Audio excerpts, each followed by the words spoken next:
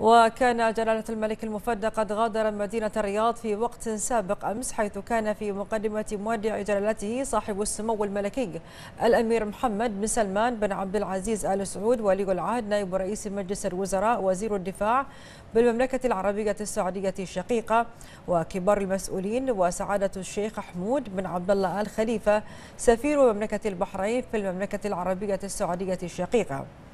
وقد بعث صاحب الجلالة لدى مغادرته برقية شكر وتقدير إلى أخيه خادم الحرمين الشريفين حفظه الله فيما يلي نصها.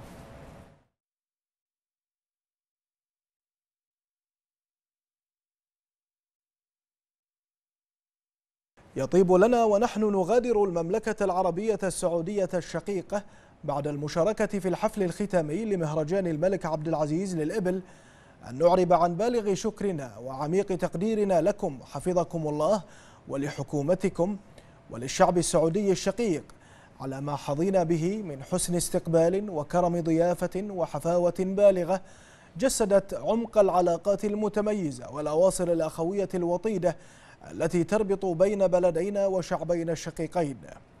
معربين عن بالغ سعادتنا لمشاركتنا في هذا المهرجان الكبير الذي يجسد الجوانب الثقافية والتراثية بالمملكة العربية السعودية الشقيقة وما تتسم به من عراقة وتميز وما له من دلالات مهمة في إبراز الإسهامات الرائدة للمملكة العربية السعودية في تقدم الحضارة العربية الأصيلة.